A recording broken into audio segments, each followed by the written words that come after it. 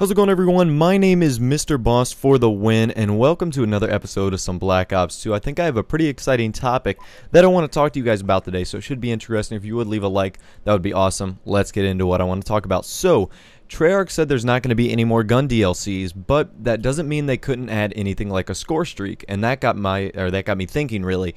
What would be a really cool new score streak if they were to implement that in a further DLC. Woody's Gamertag said it best. He says, at this point, DLCs have to be more than just maps. I mean, come on, guys. We are so far into the DLC cycle of games that anything besides a map has to be included. And I actually got to play with him a few days ago. I got a game or two with him, uh, so you'll be seeing that later. And for you guys coming over from Thunder's channel, first off, I want to say thank you, Thunder. Uh, we had a great time playing. For those of you who don't know, I'm I'm not just like a subscriber that joins Thunder's session. We, we play a lot. We're pretty good friends.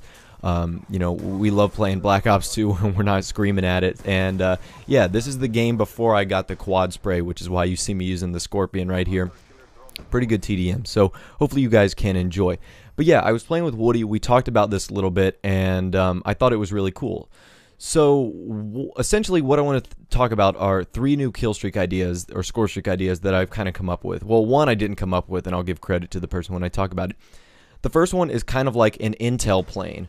Uh, not a spy plane, but an intel plane. I'm thinking it would be a little bit higher than a spy plane, and when you call it in, you could press the start menu and you could see, uh, you know, a list of all the players on the enemy team, and if they had a score streak going, you could see what score streak they were on and what they were about to get, or if they were using an equipment, or you know what type of attachments they have on their gun, you know, and it would only last for like 10 seconds. So someone would get it, they'd look at the start menu, and if you're in a game like Search and Destroy, you could say, hey, someone's got an MMS, you might want to put Cold Blooded on next round. Or someone's really close to a Lightning Strike, so if you're taking a Domination flag, you might want to be careful. You might want to jump on it and then jump off, because they'll hit you with that Lightning Strike, and you won't be able to get it.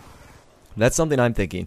Hopefully, in the eyes of you guys that won't be too overpowered, I don't think it will because it's not going to show enemy location and it's not going to show where they are. It's just going to show what characters might be close to certain score streaks, kind of like the CODcaster menu uh, that we experienced in the Call of Duty Championships. So uh, I think that's a pretty cool idea. I don't know what you guys might think about that.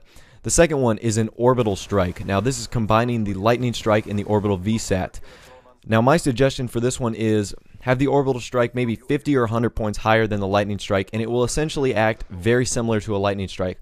You'll pull it up on the, your little tablet or laptop and you will pick points to drop this strike and instead of killing people like a lightning strike it will make the enemies that are tagged appear as orbital VSAT triangles on your minimap until they die. As soon as they die, they don't become uh, the red triangles anymore. But for as long as they are alive in that life, they will be red triangles on your minimap. That's why I'm calling it the orbital strike. So if you only happen to get one person, you only get one person that you see as the orbital strike radar. But if you get an entire team, you'll have an SR-71 just for the life. Like let's say you die five seconds afterwards, your next life will not have that orbital VSAT radar for you. You won't be tagged anymore, basically. And I know this was really similar to the support kill streak in Modern Warfare 3, that like drone of some sort, that parrot drone or whatever. I didn't like that because you could be tagged as many times as you wanted. This is a one-time thing. You don't get to fly around with it. You drop down points, and if you're hit with like the little, I guess I'll call it laser beam, warning, like seven-man or five-man Hellstorm coming up in a second. Really cool right here. So boom, get like all five of them right there. And uh, yeah, so that's what I think is uh, another cool streak option. The last one I want to talk about comes from Mr. Sark, and he actually mentioned the propaganda plane. Now, what the propaganda plane is, before the match, you can record anything you want, kind of like via the Xbox party system. Record anything you want, and at any time during the match, during a kill cam, you can force an enemy to listen to what you say. So you can trash talk and belittle them all you want in a message before the lobby.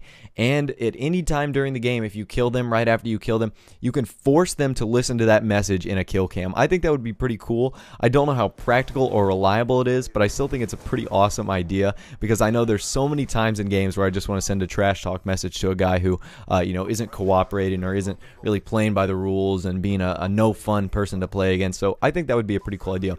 But I want to know your guys' opinions on the my three score streaks: uh, the Intel um, Intel plane, the orbital strike, as I'll call it, and then the propaganda plane from Mr. Sark. What do you think about those guys? Anyways, take care. Thanks for watching. Have a nice day. Uprising tomorrow, and I'll see you guys in the next video.